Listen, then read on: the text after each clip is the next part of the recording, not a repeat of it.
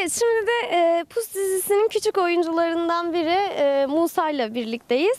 E, Musa e, Ergun'a şimdi soralım. Musa e, Pus dizisi hakkında neler düşünüyorsun? Pus dizisi hakkında e, daha çok ilerleyeceğini, daha güzel yollara gideceğini ve mahallemizin daha da gösterişli olmasını. Peki sizin mahallenizde çekilmesinin mahallenize ve size bir etkisi oldu mu?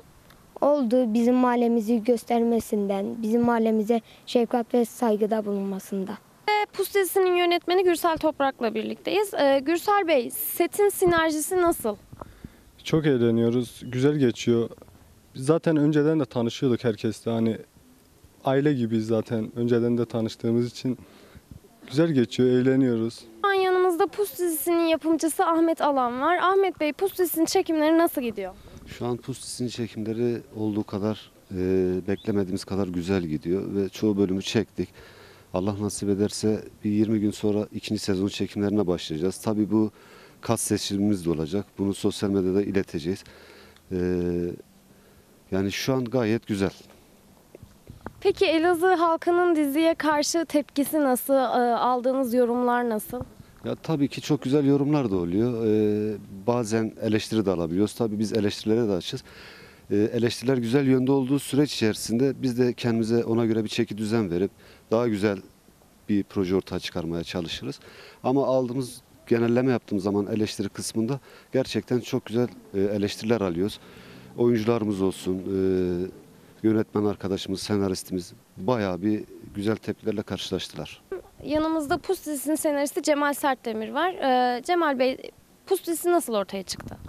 E, Pus dizimiz e, yapımcımız Ahmet Alan ve İlyas Can'a e, akabinde e, ana ana karakter oyuncumuz Mithat e, Benli'nin bana getirdiği bir proje sonucunda kalemi elime almamı istediler. Ve böyle bir proje ortaya koyduk. Allah nasip etti. Yazmaya başladık. İki ay süreç içerisinde ilk sezonumuzu bitirdik. E, ondan sonra zaten e, çekimlerimize hızla devam etmeye başladık. Evet şimdi yanımızda Pus dizisinin başrolü Mithat Benli var. Mithat Bey e, bize birazcık karakterinizden bahsedebilir misiniz dizideki? Dizideki e, karakterim Mithat Zadoğlu e, ailesine gerçekten bağlı olan bir kişi. Aynı zamanda e, mahallesine gerçekten bağlı olan bir kişi. E, çevresi tarafından gerçekten sevilen bir kişi. E, mahalle halkı e, Mithat'ı gerçekten sahipleniyor.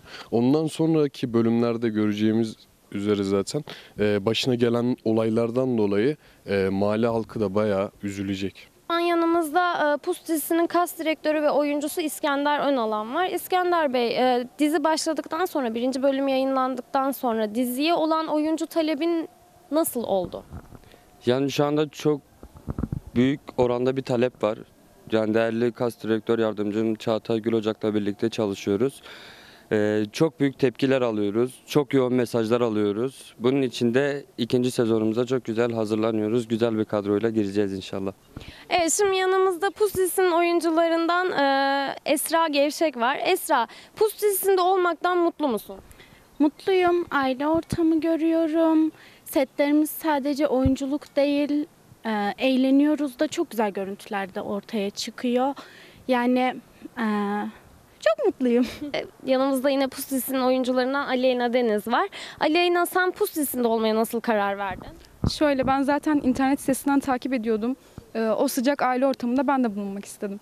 Hepsi bu. Peki e, Pus dizisinden beklentilerin e, neler? Ee, Mithat, İskender, e, Veda sayamayacağım birçok isim halka kendini çok sevdirdi. Çok benimsediler onu. Ben de öyle olmak istiyorum. Yani benimsenmek istiyorum. Halkın beni sevmesini istiyorum. Pus dizisinin oyuncularından Celal Ser'le birlikteyiz. Celal Bey Pus dizisinin içerisinde yer almaktan mutlu musunuz? Mutluyuz.